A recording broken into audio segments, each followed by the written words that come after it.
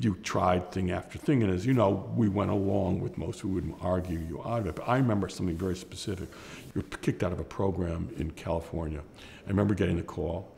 Um, oh my God, once more. It's kind of like having, which was not the case, kind of like having a, a drug addict child that had gone to a series of places, and you got that call again, which said, oh my God, she or he got kicked out. Actually, the image I think of, there was a movie in which the father is a lawyer, and the daughter has a drug problem. I remember the father being a lawyer, being in the phone booth, getting a call from his daughter saying, I need more money, I need more money, I need more money. It was this issue of always having, um, afraid of that call. And again, what could that call be? It could be anything from suicide, it could be a call from um, anger, anger at something I had done, or or most often, probably really even you talking about your problems to me, which you always and often did, not always, but often did.